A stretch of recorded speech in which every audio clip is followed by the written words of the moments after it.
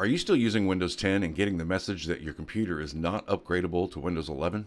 Don't worry, you're not stuck. Even if your computer doesn't meet Microsoft's stringent hardware requirements, there is a safe, legal, and reliable way to upgrade your Windows 10 computer to Windows 11, and I've helped many people do it successfully. In this video, I'm going to walk you through step by step on how to use a free tool called Rufus to upgrade from Windows 10 to Windows 11. And the best part is, is you don't lose a single thing on your computer. Let's get into it. Hello everyone, my name is Scott Merrill. I've been in IT for almost 35 years and on this channel we do Windows tips, tricks, troubleshooting, product reviews, all kinds of stuff Windows related. So if that's something you're into, make sure you stick around. Also, one of the things that I do is make PC recommendations for people who want to buy new computers and really aren't sure what direction to go. So in the video description, there is a link. If you click that link, it will send me a form and then you can fill out that form. And then once I have that information, I can guide you to finding the right product for the right price.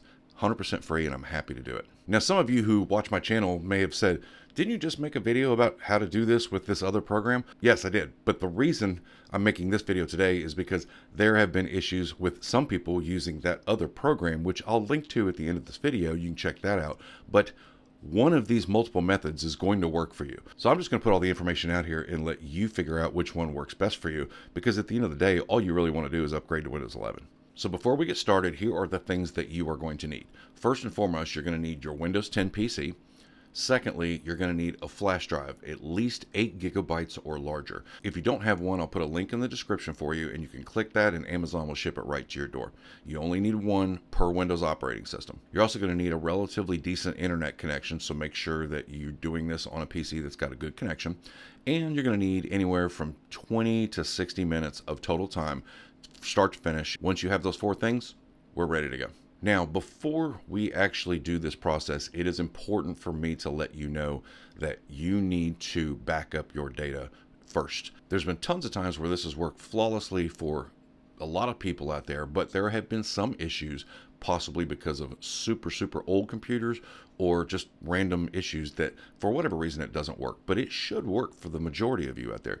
So if you don't have your data backed up, you need to at least put it on a flash drive. And again, you can use that link in the description if you need to get a flash drive or create a drive clone or a disk image of your existing Windows 10 computer. This information is strictly educational. I cannot absolutely guarantee that it's going to work on every single machine that has Windows 10, but for the majority of you, it should work fine. And even if you can't do a drive clone or a disk image, at least make sure that you have your data backed up to a portable drive or a flash drive because you should be backing up anyway, right? So now that we have all that and we're ready to go, the very first thing you need to do is you need to go download the Windows installation file, which is called an ISO file or ISO. And we can download that directly from the Microsoft website. Here's how we do it. What you're going to want to do is just simply open Google and then in the Google search box, you're going to type download Windows 11.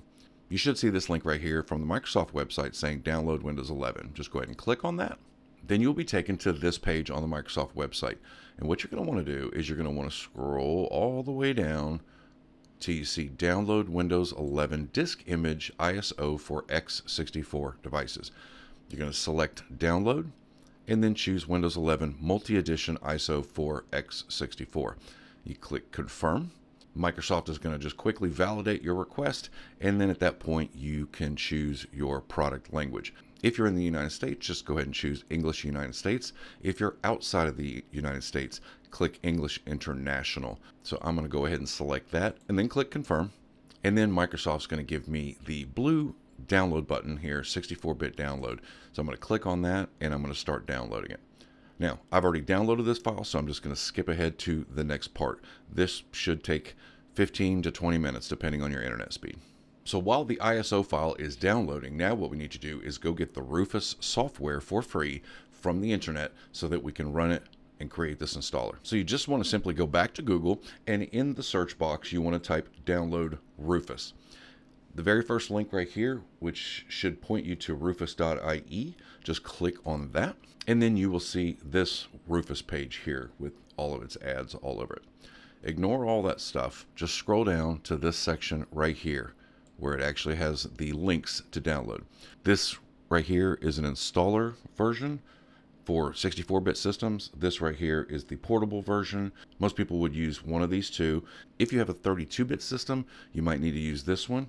And if you have an ARM system, like for a tablet or whatever, you might want this one. But the vast majority of people will be fine right here with this Rufus 4.9 Portable Edition. You're going to click on that. And again, you're probably going to get ads. That's fine. Just ignore them. All right, so once that file has completed, just simply click on it to open it, and then just select yes on the user account control. So at this point, what you're going to want to do is plug in your flash drive, and this is going to be the one that you are going to overwrite. And I need to be very clear about this whatever is on this flash drive will be wiped. It will be deleted, gone forever. If you have anything important on this drive, get it off this flash drive or use a different one. Please don't create this installation and then get mad at me because you deleted the files. Make sure this is a flash drive that is safe to delete. At this point, go ahead and plug it in. And you'll see a pop-up on the screen here. That's fine, just ignore that. And then you should see here, empty flash drive or whatever the flash drive is labeled. But in this case, it is the 8 gigabyte flash drive that you're going to use for the installation. So the file is still downloading and there's a couple things we need to check first before we continue here. So one of the things that's going to ask you is the partition scheme of your computer. If you have a computer that's probably older than 10, 15 years, you might be on MBR, but we need to check that first. What you can do is right click on your start button and then go to disk management. When this window comes up, you're going to see this disk zero, which is likely your hard drive that you're on right now. And you can tell that for sure because you'll see the C drive over here. Just go over here right underneath the disk zero information, right click and go to properties. You'll get a window that pops up like this. And then you, you want to go to volumes. Okay.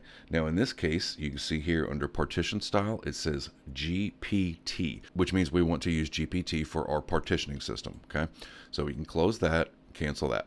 Now we can't really continue here until the ISO is downloaded, but just be aware of that uh, GPT versus MBR. While that is still downloading, another thing we need to check is whether you are on the BIOS or UEFI uh, BIOS type and most modern systems are going to be UEFI. But here's a way to check that. You can just simply go down here to your search box, and in the search box, type system, and then click on system information right here. And what you're looking for right here is on the right side where it says BIOS mode. If it says UEFI, then that's what you want to use. If it says MBR, that's what you want to use. So now we have those two pieces of information. We are just ready to start the process and wait for the installation to finish. Okay, and it looks like it is done. The file is completely downloaded and we're going to verify here it is in our downloads folder. There it is right there, Win 11 English 64. So once that ISO is downloaded, you're going to go over here and click on select.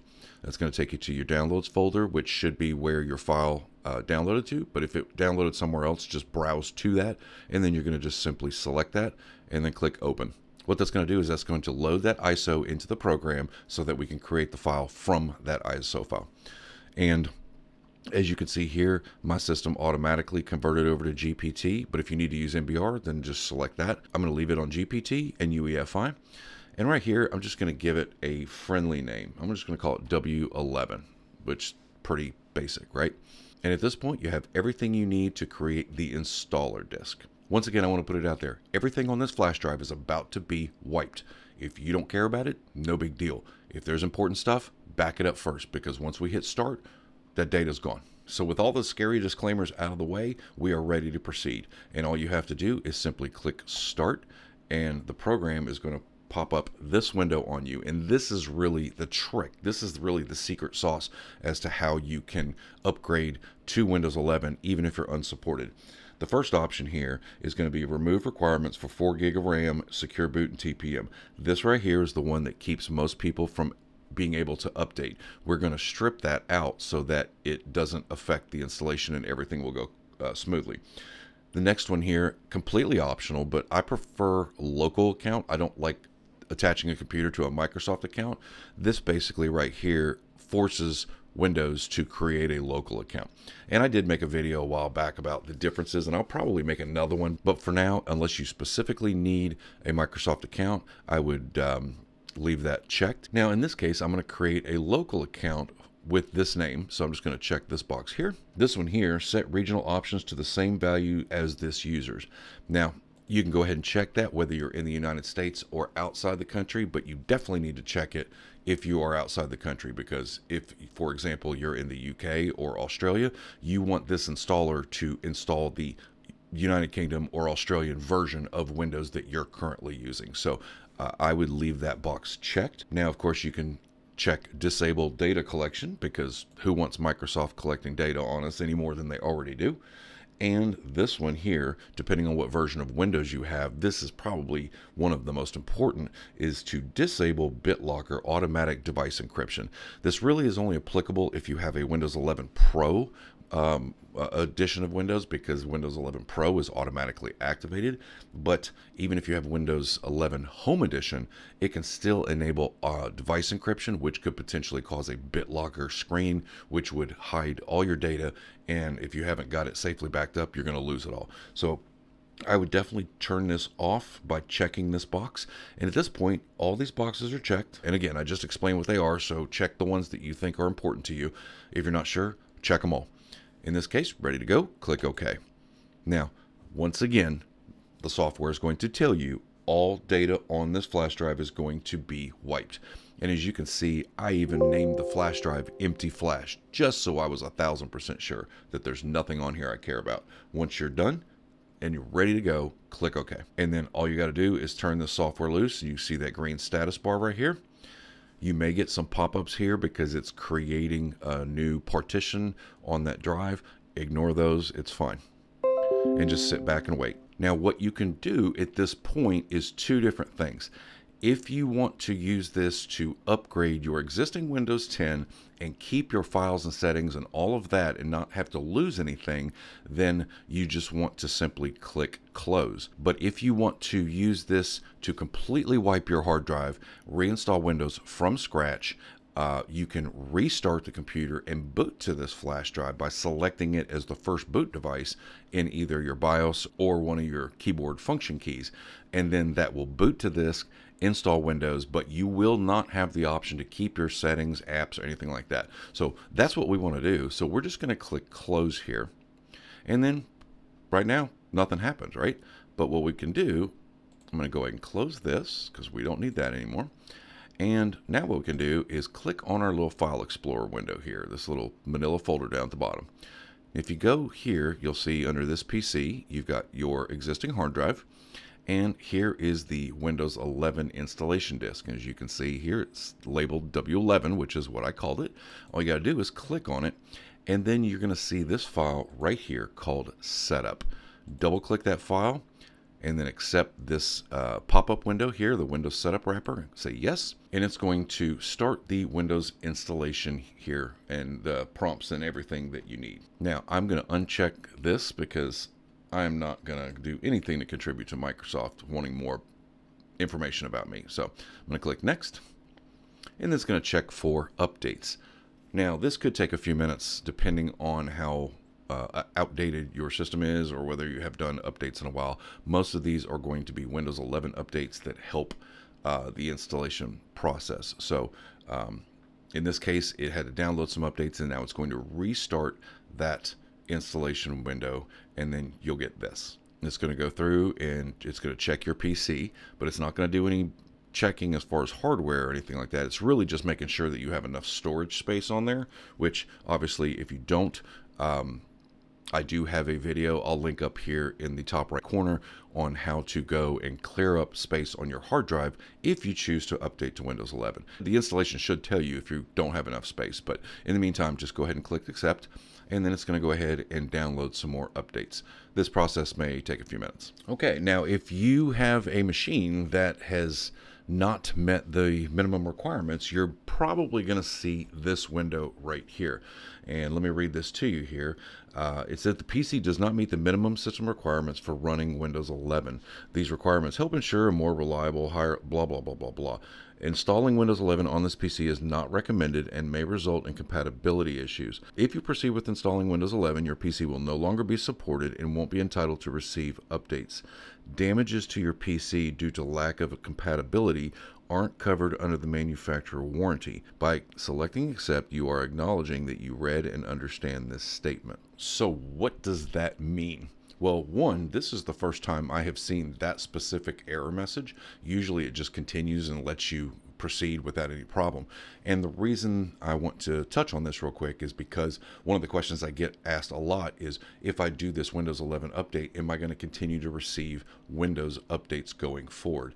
And for everybody else that has upgraded to Windows 11, they continue to receive updates. Now, that doesn't mean that at some point Microsoft can't turn the spigot off and just say, "Nope, you're you're done." So just be aware of that. Um, but one thing's for sure, if you stay on Windows 10, you're definitely not going to get any more updates. If you upgrade to Windows 11, even though this Microsoft scare tactic may scare you away from it a little bit, just be aware that you're probably going to continue to get updates. But again, it can be turned off at any time. So with that said, I'm going to go ahead and click accept and say, thank you for letting me know, Microsoft, but I'm going to go ahead and accept that anyway.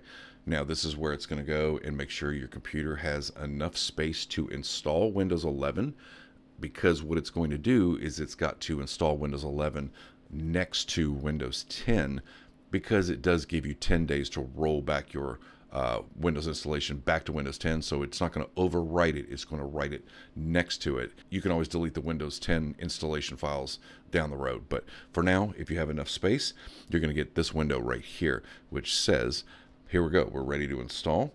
You're not going to be able to use your PC during installation, obviously, because it's going to restart multiple times. And go ahead and save and close anything that you're working on. Now, to recap, you've chosen to install Windows 11 Home. In this case, it's Home for me. It might be Pro for you or whatever version is going to install that same version. And then secondly, this is the most important part right here. Keep personal files and apps. In other words, every program I've installed, every file that's on the computer, all my personal stuff, nothing gets deleted. It's just going to transfer all of that over from the Windows 10 to the Windows 11 when it's all said and done. Now, again, I definitely recommend you back up because this may or may not work, but for most people that use it, they have no problems with it. Um, and to answer one of your questions uh, that you might have is that, you know, will my program that worked in Windows 10 work in Windows 11. Yes, they should all work, no problem, unless that program is only designed to work in Windows 10. But for pretty much anything else, it should be fine. At that point, I'm ready to go. So I'm going to click install and get this party started. And then you're going to see this window right here. And this is basically uh, your computer is going to run some some background setup stuff and some prep for the installation. It's going to restart the computer and it's going to start creating that Windows 11 installation that you want. So at this point, you just kind of have to sit back and wait. And after about 30 or 40 minutes, as you can see, I now have Windows 11 on this computer. And as you can also see, the programs that I have installed are still there. The downloads that I installed are still here. Everything is exactly the way it was in Windows 10. And we can go into our settings, go to Windows Update, and check for updates. And let's just see how accurate that information was from Microsoft about whether or not Windows updates would still work. And it looks like the updates are starting to work, so everything appears to be okay. If I go to my About section, Windows 11 Home, now version 24H2. So everything went perfectly. Now, if for some reason you do this and you want to go back to Windows 10, all you have to do is go into your settings and type in recovery and then you'll see an option here to go back to Windows 10. If you click that, this one right here is the one that you would click on. Microsoft gives you 10 days to evaluate Windows 11 before it's official that you have it.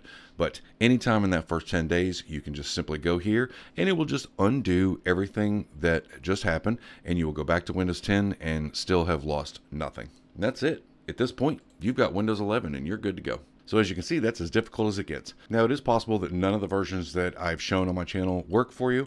And if that's the case, well, you might be stuck with Windows 10. Well, what does that mean for you? Well, in that case, you might want to check out this video right here to know whether or not it actually makes sense to stay on Windows 10. As always, thank you so much for watching, and we'll see you in the next one.